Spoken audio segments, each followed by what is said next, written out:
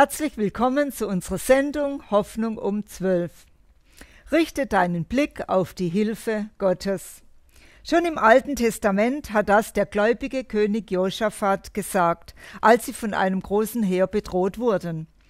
Wir selbst können nichts ausrichten, sagt er. Wir sehen keinen Ausweg mehr, doch wir vertrauen auf dich. 2. Chronik 2012. Mach es genauso. Vertrau auf ihn. Hoffnung um 12. Wir wollen dich heute wieder ermutigen. Wir machen weiter im Psalm 23.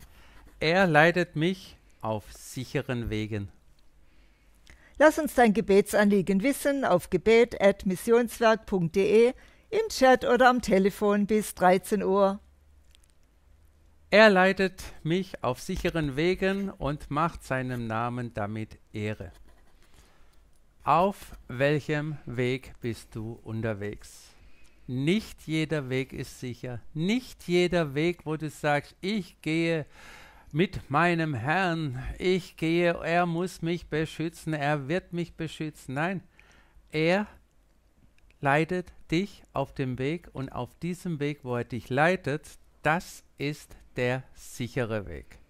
Wir wissen, als wir mal klein waren, zumindest bei mir war es so, ja, dann reißt man sich los von Mama, Papa und man rennt, weil man meint, man kann was besser und findet sich in einer Pfütze wieder. Und der Weg war doch nicht so prickelnd. Ja, sicheren Wege. Sichere Wege sind nicht die eigenen Wege. Die eigenen Wege führen so oft in die Irre und in alles Mögliche hinein. Nicht die schnellsten Wege, die haben wir immer gern. Herr, ganz schnell, ich habe keine Zeit. Nicht die logischen Wege, ja, also ich meine, Gott meinte es so. Und das ist ja ganz logisch. Nicht die, die man immer gegangen ist. Ja, letztes Mal hat es hier geklappt, aber äh, es muss nicht das nächste Mal wieder klappen. Und nicht auch immer die schönsten Wege, die uns für, wo wir sagen, ach, das ist so schön, da diesen Weg durchs Leben, den gehe ich. Nein, er leitet mich auf sicheren Wegen. Und wir waren schon in Indien und da ist es manchmal ziemlich gefährlich. Auf manchen Wegen Überfälle oder auch, dort hat es auch Raubtiere, Tiger und so weiter. Und dann läuft man nicht unbedingt auf einem schönen Weg, sondern auf einem sicheren Weg. Und so sollen wir auch durchs Leben gehen. Herr, ich danke dir dafür, dass du uns leitest auf sicheren Wegen. Und lass uns erkennen, wo du uns leiten möchtest. Lass uns aber auch erkennen, wo wir den falschen Weg gehen. Und umdrehen, vielleicht ein Stück zurückgehen, dass wir wieder auf dem richtigen Weg sind. Zeige du uns deinen sicheren Weg. Danke, Herr. Amen. Amen.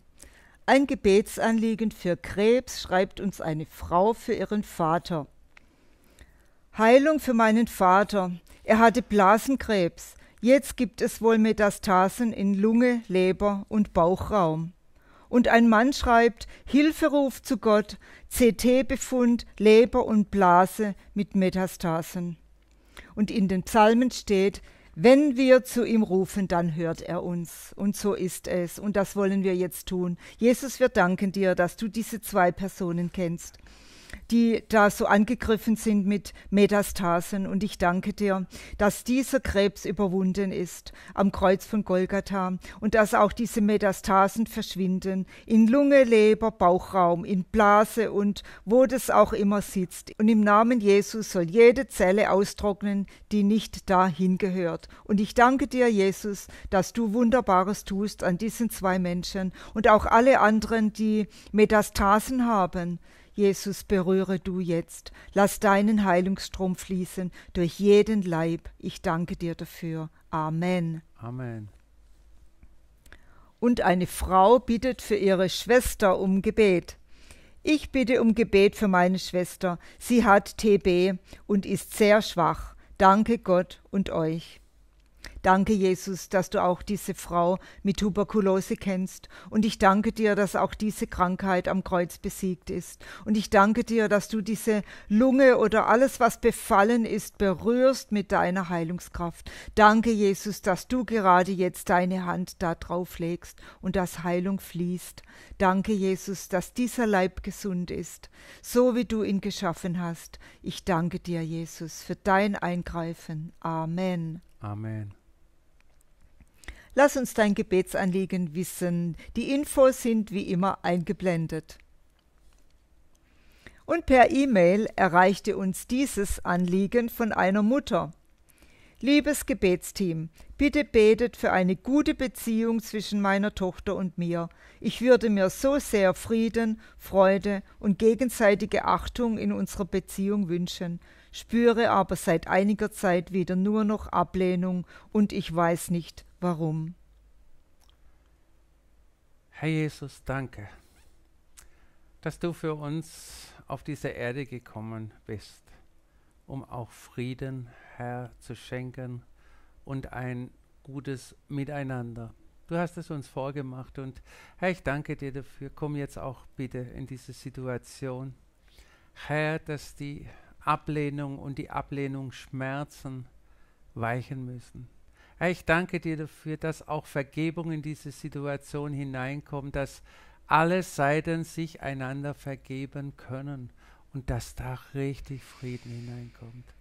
Danke, Herr. Amen. Amen. Und ein Mann bittet uns um Gebet. Ich leide seit 25 Jahren an einer axonalen Polyneuropathie. Das ist eine Nervenkrankheit, die die Füße befällt. Es wird immer schwieriger zu gehen, kaum noch kann ich gehen. Ich habe Schmerzen, Krämpfe und ich wackle sehr. Ohne Gehstock oder Krücke kann ich nicht mehr gehen.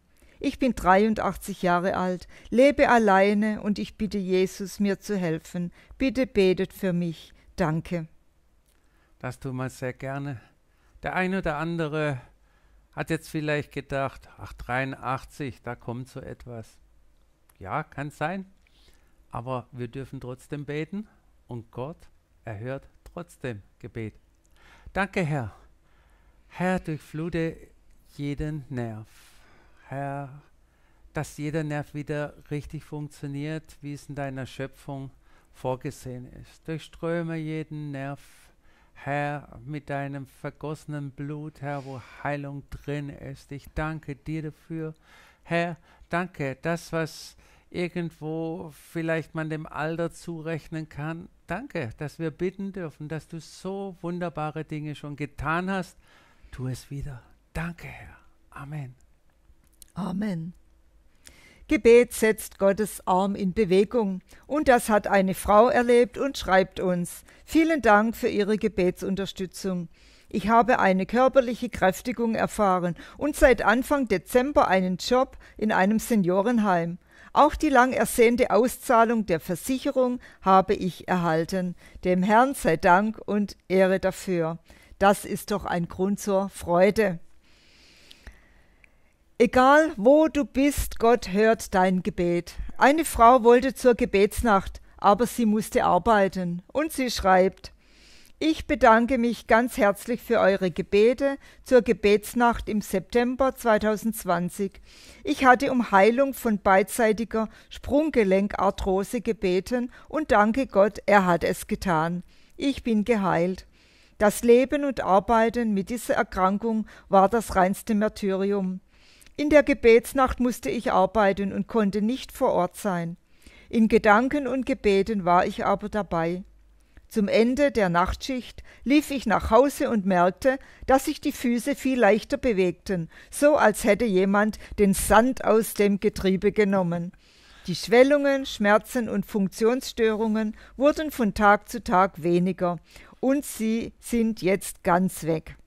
Ja, was Gott nicht alles in einer Nachtschicht machen kann. Immer wieder erleben wir, dass Versöhnung in Familien passiert und so auch hier. Mein Gebetsanliegen, die ich vor einiger Zeit an euch gerichtet habe, wurden erhört. Mein Mann hat sich körperlich erholt und mein Mann und mein Sohn haben sich versöhnt.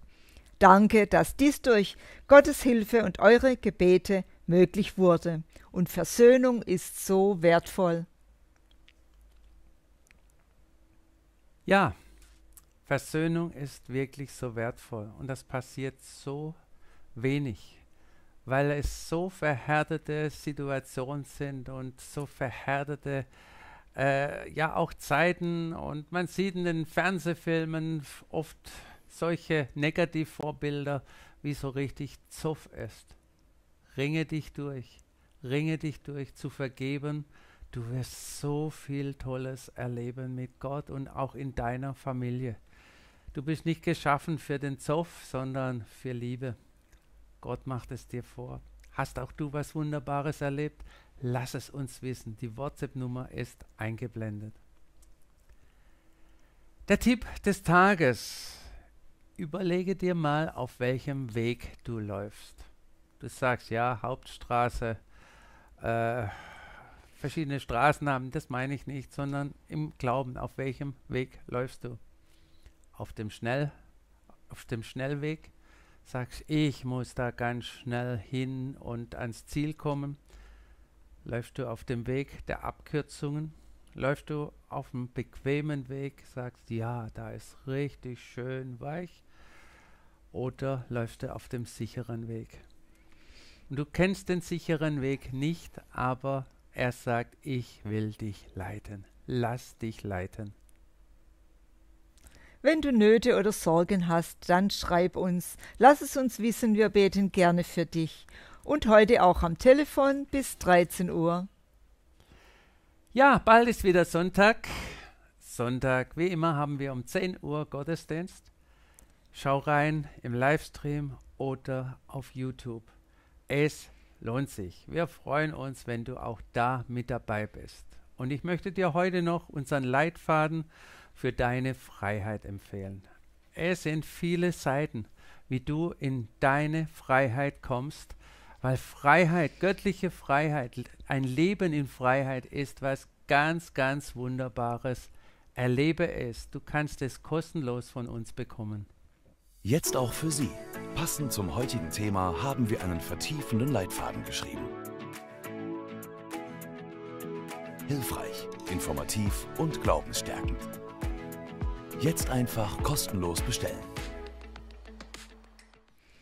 Wir wünschen dir ein gesegnetes Wochenende und bis bald.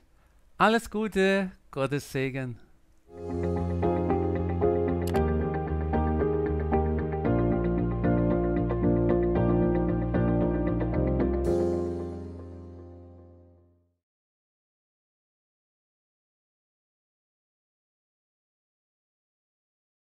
Wusstest du, dass du mit deinen Sorgen und Problemen nicht allein bist? Schick uns dein Gebetsanliegen auf missionswerk.de. Dort findest du auch ermutigende Artikel und vieles mehr. Schau doch mal vorbei.